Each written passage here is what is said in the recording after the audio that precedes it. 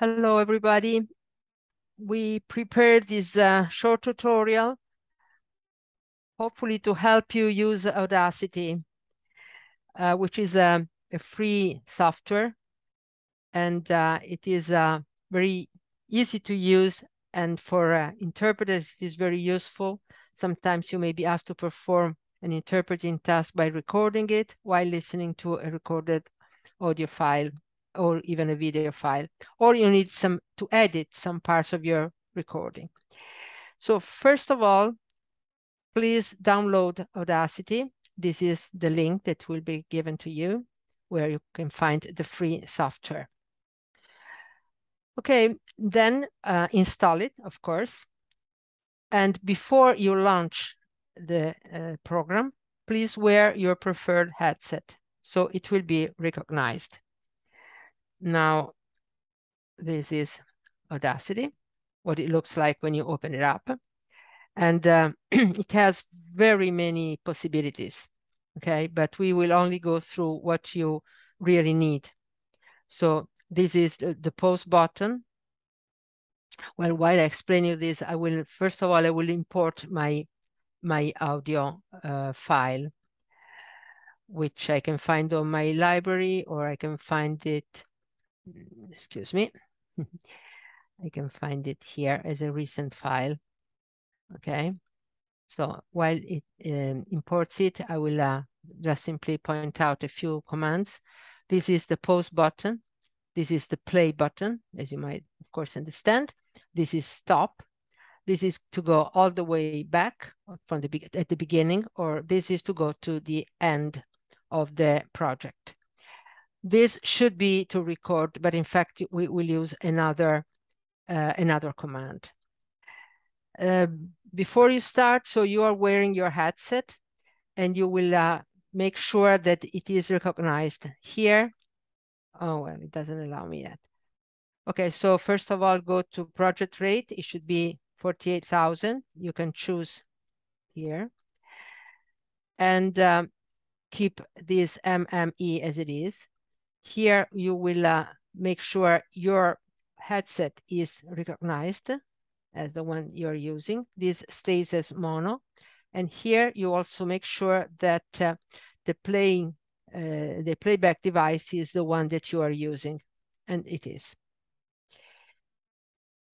The volume should be around here as it is. So when you import your audio file, very often it is in stereo mode. So you don't need it in stereo, you want it in mono. So you go over here, open menu, and uh, click to split stereo to mono. Now you have two tracks and you can throw one away. You only need one. Okay, now as you can see, this is a very long file. It is two hours long. We don't even need it, of course, but what we do, we zoom in to work on a shorter part of it, to have it clearer. And perhaps you want maybe just one minute or a little more. Okay, now we have four minutes here on the on the screen. This is more than we need. With this slide, you can go back and forth if you need it. Um, to start recording, you will click on Shift and R. So I will uh, do that. In fact, I will uh, set the um, the pointer here where it starts speaking because I know this is all music.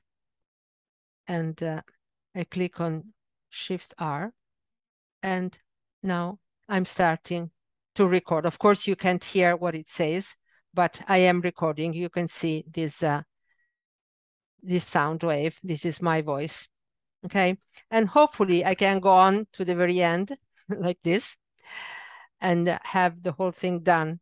But in case I have to stop for any reason, I should click on pause, okay, here on top left, pause button, because it allows me then to continue recording with no with, without any problems right there from where I stopped. So I click on pause again, and here I am recording again. As you can see, you cannot hear, but you can see that it is going on nicely.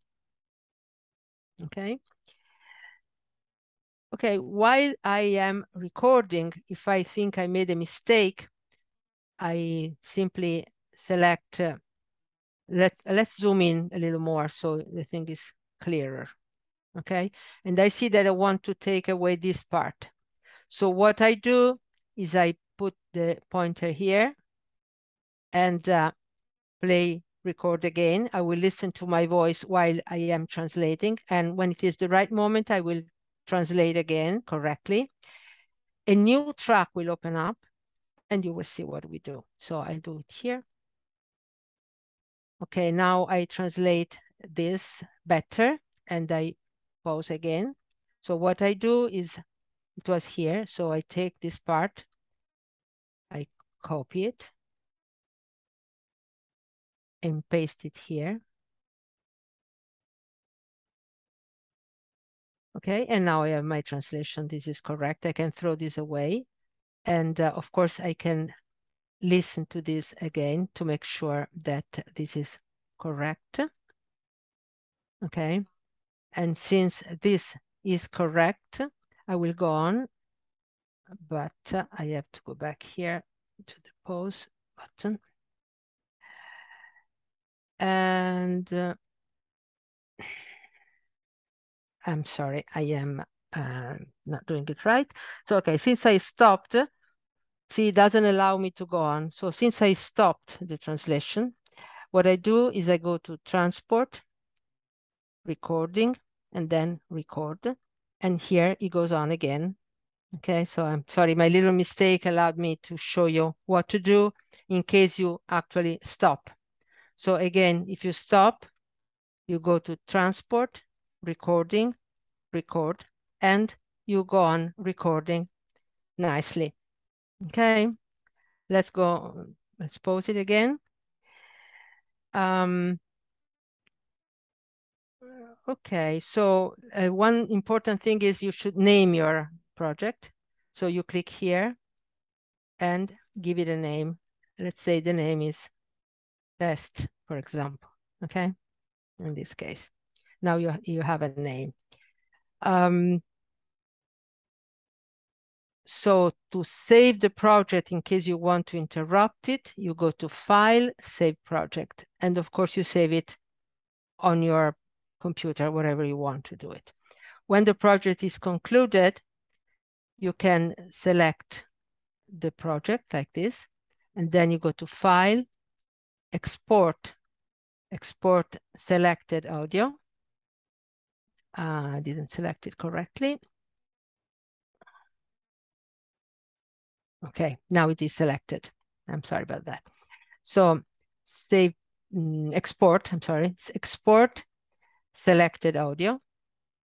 And then you will select it and you will uh, save it as WAV. Okay, in case it, it, now it is WAV here, but if it doesn't uh, show as WAV, you can choose WAV here, and then you save it. At this point, you can deliver the project.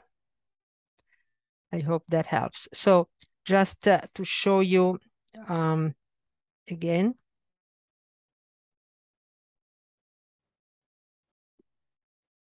this is a quick recap. So to record your translation audio track, you launch Audacity, set the project rate at 48,000. Remember to wear your headset before you launch Audacity. Open the original audio track. Then click to Shift R to start recording while you listen to the original. Use the pause button to pause and resume your recording without any problem. Once you're finished, you save your audio track in WAV format 24-bit mono. To edit your translation, you create a new track as you have seen and uh, record the portion you need to edit and copy and paste it on the recording track. You can always undo what you have done clicking on Ctrl Z. For further information, you can consult the Audacity manual or uh, look for tutorials. There are very many on the web, like this one. Thank you.